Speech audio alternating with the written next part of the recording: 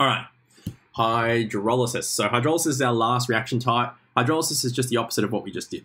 Hydrolysis is breaking down using water. So in this case here, if I wanted to break down an ester, I need to add the water back in. When I add the water back in, it breaks this down back into your um, carboxylic acid and your alcohol. Really important you know where to draw your line again. So that's where I'm going to break it up. Um, this is for organic reactions. We utilize this. We utilize this in esters. So if we want to break an ester down, we add water back to it. It just makes sense. Hydrolysis, hydration, hyd you're adding water back to it.